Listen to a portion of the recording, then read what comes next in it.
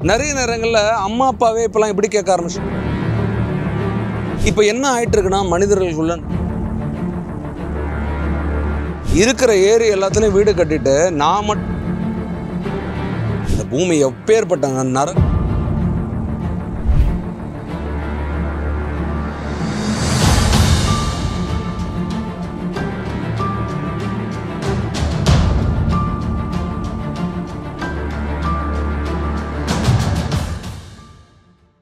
Hi C ஒருத்தர் மட்டும் நல்லா இருக்கணும்னு நினச்சிட்டா இந்த சமுதாயம் நல்லா இருக்குமா? நான் மட்டும் நல்லா இருக்கணும்னு நினச்சா சமுதாயம் நல்லா இருந்திருக்குமா? இல்லை ஒரு ஆண் ஒரு மனைவி எடுத்துப்போம். நான் மட்டும் நல்லா இருக்கேன் நான் சமைச்சு நான் சாப்பிட்டுக்கிட்டு நான் வந்து சம்பாரிச்சுக்கிட்டு நான் மட்டும் நல்லா இருந்தால் போதும்னு நினச்சா அந்த குடும்பம் நல்லா இருக்குமா? அதே மாதிரி அந்த கணவன் நான் மட்டும் சுயநலமாக இருந்தால் நல்லாயிருக்கும் அப்படின்னு நினச்சிட்டாங்கன்னா நல்லாயிருக்கும்? சரி இப்போ என்னென்னா இங்கே மேட்ரு.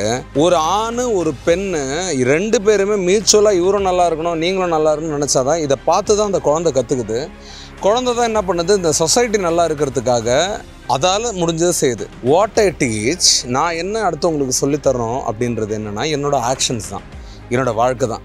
இப்போ என்ன ஆகிட்டு இருக்குன்னா மனிதர்களுக்குள்ள நிறைய சுயநலம் நான் நல்லா இருந்தால் போதும் எந்தோட பணம் என்னோட நகை நான் நல்லா இருக்கணும் எவ்வளோ நாளைக்கு இந்த நான் நான் நான்றதை எடுத்து வைக்க போகிறீங்க சரி எது வரைக்கும் உங்களோட உழைப்போ இல்லை உங்களோட வாழ்வியலோ இன்னொருத்தருக்கு உதவியாக இல்லையோ அது அது வரைக்கும் வந்து நிச்சயமாக வந்து ஒரு ப்ராப்பரான ஹியூமன் பீயிங்கோட லைஃப் நீங்கள் வாழன்றது அர்த்தம். இப்போது எப்போ பார்த்தாலும் எனக்கு என்ன கிடச்சிது? இப்போ யாராவது உதவிக்கு வந்தால் கூட இந்த உதவி செய்கிறவங்ககிட்ட நம்ம எவ்வளோ அடிக்கலாம் எவ்வளோ சம்பாதிக்கலாம் எவ்வளோ சேர்க்கலான்றதை நினைக்கிறோமே தவிர நம்ம என்ன இந்த சமுதாயத்துக்கு செய்கிறோன்றது யாருமே கேட்குறதில்ல எனக்கு மாம்பழம் வேணும். ஆனால் மாம்பழம் கொட்டை எனக்கு இருக்கக்கூடாது அப்படின்னா அடுத்த ஜென்ரேஷனுக்கு யார் மாம்பழன்றதை காட்டுவா? Seedless grapes seedless guava seedless apple விதையே இல்லாத எல்லாத்தையும் நம்ம சாப்பிட்டுட்டு இருந்தாலும் இந்த விதையை வச்சு தான் இன்னும் நம்ம உருவாக்க முடியும். நாளைக்கு நம்ம குழந்தைங்க இன்னொரு நாடு கிட்ட கையேந்தி நிற்கிற நிலம வந்துடும் ஒரு விஷயத்த இன்னும் நிறைய உருவாக்குனா தானே நாளைக்கு யாருக்கா உதவியாக இருக்கும்? இருக்கிற ஏரி எல்லாத்துலேயும் வீடு கட்டிட்டு நான் மட்டும் சுகமாக இருந்தால் போதும் அப்படின்னா நாளைக்கு தண்ணி அதிகம் வந்து இந்த ஊரே முழுகுச்சு அப்படின்னா யார் பாதிக்கப்படுவார்னா ஒவ்வொருத்தரோட குழந்தைங்களும் தான் நாளைக்கு அதில் பாதிக்கப்பட போகிறாங்க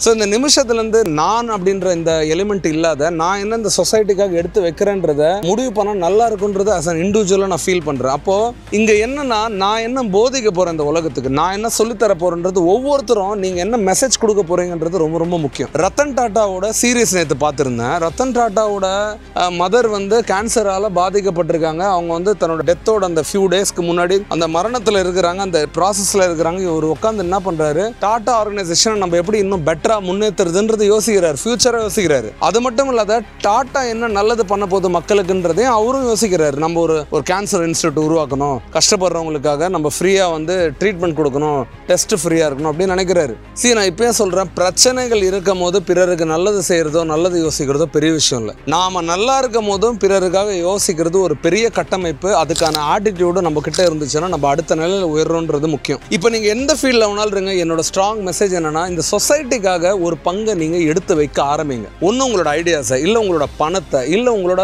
திங்கிங் பேட்டர்னை இதை மக்களுக்காக கொஞ்சம் பயன்படுத்துறதுக்காக முயற்சி பண்ணுங்க. அதுக்கான ப்ராசஸ் ஆரம்பிங்க. இப்போ என்ன வேல்யூன்னு பார்க்குறோம். எல்லாமே எப்படி பார்க்குறோம்னா இதோட ப்ரைஸ் டேக் என்ன? இந்த சட்டம் சட்டைனா இந்த சட்டையோட ப்ரைஸ் என்ன? இந்த சட்டைக்கு பின்னாடி இருக்க வேல்யூ நிறைய பேர் பார்க்கறது இல்லை. வேல்யூனா அதுக்கு பின்னாடி இருக்க உழைப்பை.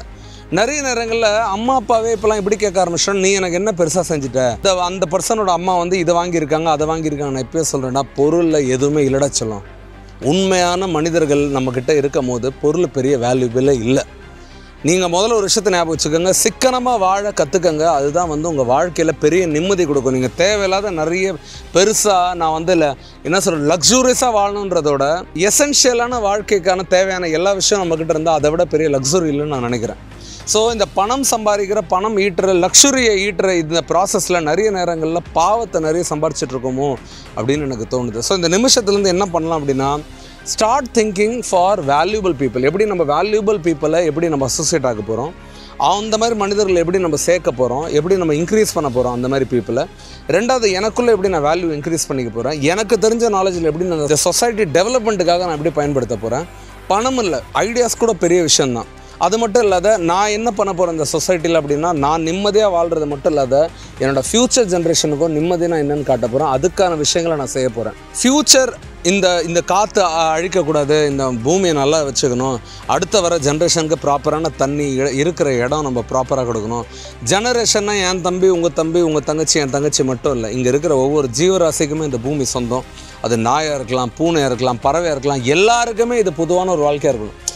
நிறைய இந்த டவர்ஸ் வந்துருச்சு கம்பி வந்துருச்சு. இன்றைக்கி வந்து குருவிங்க இல்லை பறவைங்கள் இல்லை இவங்களாம் எங்கே போனாங்கன்னு தெரில அப்போது சர்வைவ் பண்ணக்கூடிய பறவைங்க சர்வைவ் ஆகிடுது சர்வைவ் பண்ண முடியாத எத்தனை பேர் இறந்துடுறாங்க. அதே தான் மனிதர்களுக்கும். அப்பாவிங்க நிறைய பேர் காலி ஆகிட்டு சுயநலவாதிங்க மட்டும் இந்த பூமியில் வாழ்ந்தாங்கன்னா இந்த பூமி எப்பேற்பட்ட நரகமாக இருக்குன்றது மட்டும் நீங்கள் கொஞ்சம் யோசிச்சு பார்த்தீங்கன்னா உங்களுக்கு நான் சொல்ல வர்றது புரியும் நான் நினைக்கிறேன்.